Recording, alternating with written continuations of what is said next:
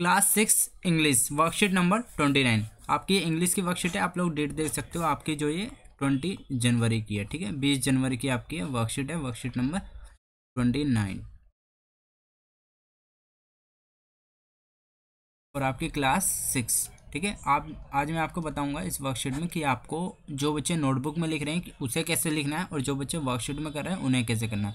Mostly student को doubt होता है कि हमें नोटबुक में क्या क्या नोट डाउन करना है वर्कशीट में से, ठीक है? और क्या क्या आंसर में लिखना है, ठीक है? तो मैं वर्कशीट को स्टार्ट करता हूँ तो बच्चे हैंड टू हैंड आप लोग वर्कशीट कंप्लीट करोगे जैसे जैसे मैं आपको करवाता चलूँगा। उससे क्या होगा, आपका, आपको समझ में भी आ जाएगी और आपका होमवर्क भी कंप्लीट हो जाएगा और आपको डाउट भी नहीं रहेगा कि आपको लिखना कैसे है, क्योंकि वर्कशीट आपको सब करा देते हैं। ये आपको कोई नहीं बताता कि लिखना कैसे है, ठीक है?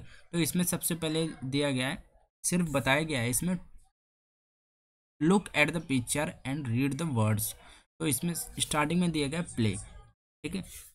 ये एक आपको पिक्चर दी गई है जिसमें बच्चे खेल रहे हैं। तो ये प्ले कर रहे हैं, ये ईट इसमें ये बच्चा खा रहा है, ठीक है? इसमें ये बच्चा पढ़ रहा है, इसमें ये जंप कर रहा है, ठीक है? इसमें यहाँ पे बर्ड जो है फ्लाई कर रहा है, ठीक है? तो ये बताया गया कि ये जो सारे वर्ड्स हैं, इन्हें हम क्या कहते हैं? डूइंग वर्ड्स और एक्शन वर्ड मतलब इसमें कोई ना कोई एक्शन लिया जा रहा है, ठीक है? ये जंप करने का एक्शन ले रहा है, ठीक है? एक डूइंग वर्क ये रीड कर रहा है, ये प्ले कर रहा है, ये खा रहा है, कुछ ये डूइंग वर्क हो गया, ठीक है?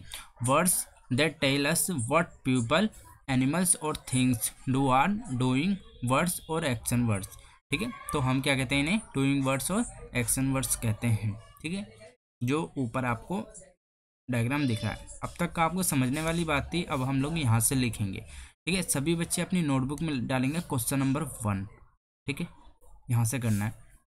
तो सबसे पहले आप लोग ऊपर वर्कशीट का नंबर डाल लेना। अब ठीक है, अपनी वर्कशीट का नंबर और डेट दो चीज़ आपको ध्यान से डालनी है। ठीक है, फिर आपको क्वेश्चन नंबर एक नोट डाउन करना है। कलर द वर्ब्स ठीक है, जो बच्चे वर्कशीट के अंदर कर रहे हैं, वो एज इट इज़ ऐसा ही कलर कर देंगे जैसे मैं आपको बताऊँगा। ठीक है? और जो बच्चे नोटबुक के कर रहे हैं, उन्हें सिर्फ़ मैं बताऊँगा कैसे लिखना है, ठीक है? सबसे पहले आप नोट डाउन करोगे question number one colour the verbs ठीक है? तो देख लो। तो इसमें आपको बताया गया है कि क्या करना है? वर्ब्स को कलर करना है, ठीक है? तो हमने ऊपर क्या क्या पढ़ा था? कोई भी जो एक्शन होता है, ठीक है? और कोई डूइंग वर्क होता है, उसको हम क्या कहते हैं? वो हमारे लिए क्या होती है? वर्ब होती है, ठीक है? तो इसमें आप देखोगे स्टार्टिंग में दिया गया सबसे पहला वर्ड कट ठीक है? किसी चीज़ काटने को हम क्या कहेंगे? एक्शन में आएगा तो वो क्या है आपका? वर्ब है, ठीक है? तो इस पर मैं कलर कर देता हूँ। ठीक है? ये आपका कलर हो गया। ठीक है? फिर आपका आ जाता है प्रे ठीक है? प्रे भी एक कोई डूइंग वर्क है, ठीक है? तो जिसमें भी आपका कलर आ गया। ठीक है, इसके बाद आपका आएगा सन ठीक है सन सूर्य कोई डूइंग वर्क नहीं है। ठीक है, वो एक नेचर की तरफ़ से सन एक होता है। ठीक है, उसमें कोई ना एक्शन लिया जा रहा है, ना कोई डूइंग वर्क है, इसलिए हम इसे ऐसे छोड़ देंगे। जो बच्चे नोटबुक के अंदर कर रहे हैं, ठीक है कलर द वर्ब्स ये नोट डाउन करने के बाद आपको सीधा लिखना है कट ठीक है कोमा प्रे ठीक है, जिस पे मैं कलर नहीं करूँगा, वो नहीं लिखना आपको, ठीक है। तो जो आपका जिस पे मैं कलर करूँगा, वही बच्चों को लिखना है। जो वर्कशीट के अंदर कर रहे हैं, वो ऐसे ही कलर कर सकते हैं हाथ में। ठीक है, या आप इसे सर्कल भी कर सकते हो। ठीक, फिर आ गया बेबी बेबी भी कोई वर्ब नहीं है, ठीक है। ना इसमें कोई एक्शन लिया जा रहा है ना कुछ। ये सिर्फ़ एक डिफाइन किया जा रहा है किसी चीज़ को। ठीक है फाइट आ गया। फाइट में एक्शन लिया जाता है, ये आपका कलर आ गया। ठीक है, फिर आपका लव आ गया। इसमें भी कलर आ गया। फिर फ्रेंड आ गया। फ्रेंड में कोई डूइंग वर्क नहीं है। ठीक है, फिर आपका रन आ गया। रन में एक्शन लिया जा रहा है। ये भी आपका कलर हो गया, ठीक है? ब्यूटीफुल आपका नहीं आएगा गुड भी नहीं आएगा। टॉक टॉक में डूइंग वर्क हो रहा है, ठीक है? एक्शन लिया जा रहा है बोलने का, इसलिए इस पर भी कलर आ गया। फिर आप, आ गया का पेंट ठीक है? पेंट पे भी मैंने कर दिया, ठीक है? फिर आपका आ गया आस्क आस्क पे भी मैंने कलर कर दिया।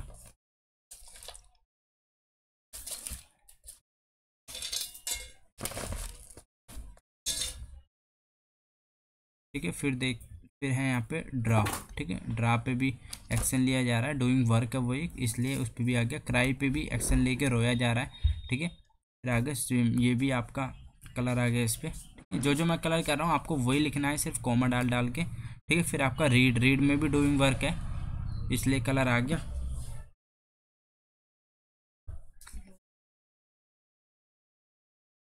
फिर फिर आपका डॉग है, इस पर नहीं आएगा। लीफ पे भी नहीं आएगा।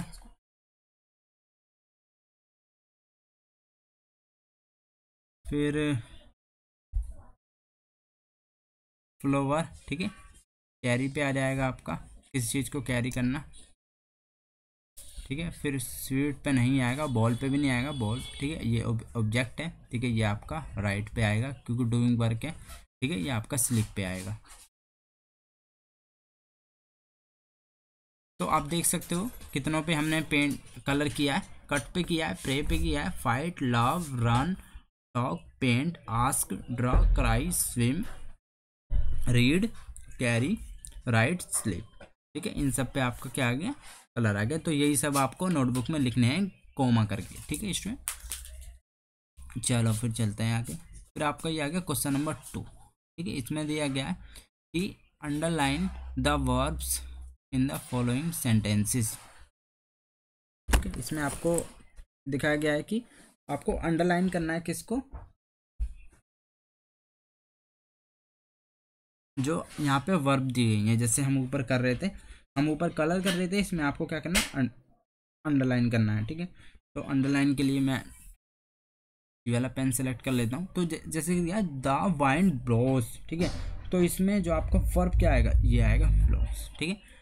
तो इसमें आपको देखो क्या करना है। सबसे पहले आपको question number two note down करना है सभी बच्चों को नोटबुक के अंदर। फिर आप लिखोगे underline the verbs in the following sentences फिर आप इसमें करोगे द वाइंड लॉस ठीक है? फिर आपको इस पर अंडरलाइन कर दोगे। फिर ऐसे आप सेकंड डालोगे और डग स्विम ठीक है? आपको डायग्राम नहीं बनाने, सिर्फ़ सीधा लिखना है। तो आप किस पे अंडरलाइन कर दोगे? स्विम्स पे, ठीक है? फिर आपका आ जाएगा the shine the sun shines ठीक है? तो आप इस पर नोट डाउन करके आप साइंस साइंस पे अंडरलाइन कर दोगे। ऐसे ही आपका फोर्थ आ जाएगा फिर मम्मी कुक्स फ़ूड तो आप कुक्स पे कर दोगे। ठीक है, ये आपका अंडरलाइन हो गया, ये अंडरलाइन हो गया। ठीक है, ये आपका अंडरलाइन हो गया। थोड़ा डार्क अंडरलाइन करना है, जिससे टीचर को भी दिखे। ठीक है तो ये आपके वर्ब्स हो गए। ठीक है, क्वेश्चन नंबर टू भी आपका कंप्लीट होता है। फिर आ जाते हैं क्वेश्चन नंबर थ्री में। ठीक है, थ्री में आप लोग सबसे पहले नोट डाउन करोगे। ये, ठीक है, आप लिखोगे अपनी नोटबुक में fill in the blanks with verbs choose from the box ठीक है? ये आपको ऊपर दिए गए सब, इसमें से हमें चूज़ करके नीचे लिखना आपको ये नहीं नोट डाउन करना, आपको सीधा ये सेंटेंसेस पूरे करके लिख देने ठीक है? तो आपका देखो क्या आ जाएगा। सबसे पहले आप लिखोगे इसमें, देखो we we in the park park के अंदर हम क्या करते हैं? प्ले करते हैं तो आपका आ जाएगा play we play in the park. ये आपका कंप्लीट हो गया, ठीक है बच्चों? फिर आते हैं सेकंड में। I with a pen pen के साथ हम क्या करते हैं? राइट करते हैं तो आपका क्या आ जाएगा यहाँ पे? राइट आ जाएगा, ठीक है? I write with a pen ठीक है?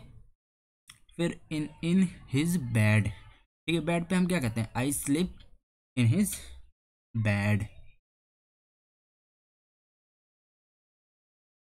ठीक है? ये आपका कंप्लीट हो गया। ऐसे ही आपको लिखते चले जाना है पूरा कंप्लीट करके, ठीक है? आपको पूरा पूरा लिखोगे नोटबुक के अंदर we play in the park I ride with a pen और जिसके पास वर्कशीट है, वो सीधा डायरेक्ट ऐसे ही लिख सकता है जैसे मैं लिख रहा हूँ, ठीक है? We eat with a spoon ठीक है? अब आ जाएगा they go to the temple every day ठीक है? दे मेक पपेट्स ठीक है? मेक फिर आपका हो गया आई से I sit in my chair. ठीक है, फिर आपका आ गया एच ठीक है एच में आ गया आपका I clap with my hands ठीक है, ये आपका कंप्लीट होता है क्वेश्चन नंबर थर्ड बच्चों, एक आपको इम्पोर्टेंट बात बतानी थी, सभी बच्चों को, हमारे चैनल की तरफ़ से बच्चों को गिफ्ट दिए जा रहे हैं, ठीक है। तो उसके लिए अगर आपको पार्टिसिपेट करना है तो आपकी जो वर्कशीट नंबर नाइन्टी फोर आई है स्टूडेंट वर्कशीट जो आपकी कॉमन वर्कशीट आती है, ठीक है? वो जो आपकी वर्कशीट आई है, अगर आपको उसमें पार्टिसिपेट करना है तो आप लोगों को उसके लिए उसके लिए क्या करना पड़ेगा? वर्कशीट नंबर नाइन्टी थ्री ठीक है? वर्कशीट नंबर जो आपकी नाइन्टी थ्री है ठीक है ninety four D ninety three worksheet number ठीक है, उसमें आपको मैं लिख देता हूँ। वर्कशीट नंबर नाइन्टी थ्री जो आपकी सैटरडे को आएगी, ठीक है? वो तीनों स्टूडेंट के लिए होते हैं क्लास सिक्स सेवन्थ और एट्थ वो आपकी सैटरडे को आने वाली है तो उस वर्कशीट के अंदर मैंने गिव अवे के लिए, ठीक है?